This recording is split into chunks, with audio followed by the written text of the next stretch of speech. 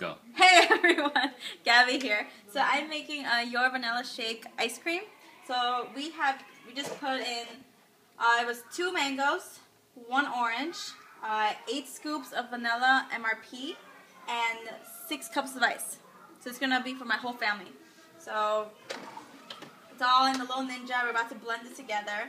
It's a healthier way of making something sweet because I know a lot of us crave lots of sweets, ice creams throughout the day, and it's just something healthier.